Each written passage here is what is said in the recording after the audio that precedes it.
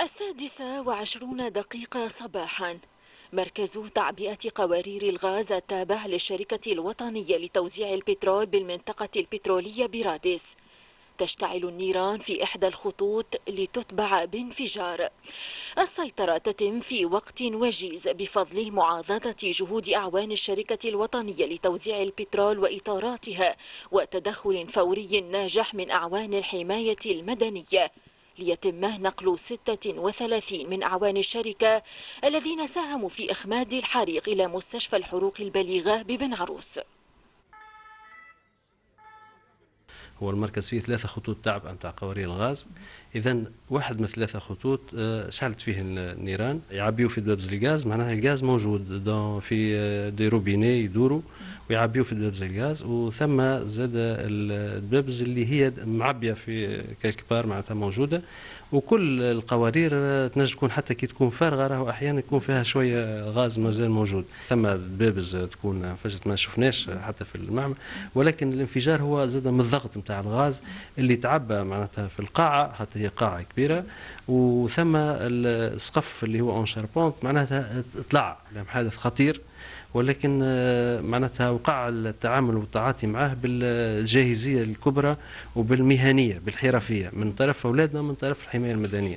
ونجم نقولوا أنه اليوم معناها منعنا من كارثة حقيقية كانت تنجم تكون كارثة مؤكدة. قمنا الصباح نسمعوا في كل كلاتمون خرجنا الناس كلها مفجوعة.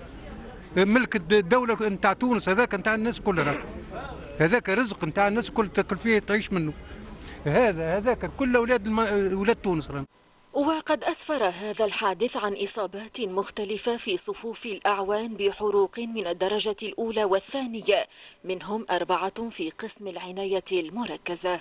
معنا 36 مصاب اللي جاوا القسم الاستعجالي. آه، حالات متفاوتة الخطورة متفاوتة. آه، آه، والإصابات تتمثل في حروق على مستوى الوجه والاطراف معناتها اليدين والأطراف السفلى. فما أربعة منهم آه، الخطورة نتاعهم آه، اللي هما يتسموا حاله حالات خطيرة.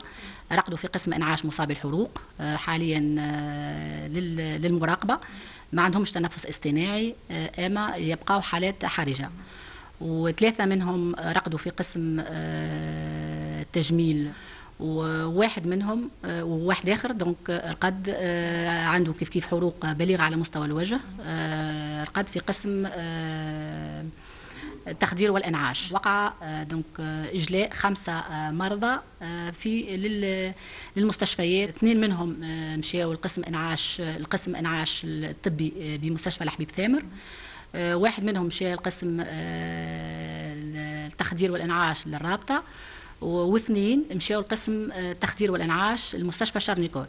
حادث أليم استفاقت عليه منطقة راد صباح اليوم أسفر عن عدد من الإصابات في صفوف أعوان الشركة الوطنية لتوزيع البترول بالمنطقة. تحول كل من وزير الداخلية ووزير الصحة ووزيرة الصناعة إلى مكان الحادثة والمستشفى للإطمئنان على حالتهم الصحية. في انتظار ما ستؤول إليه نتائج البحث الذي فتحته الوحدات الأمنية للوقوف على أسباب الحادث.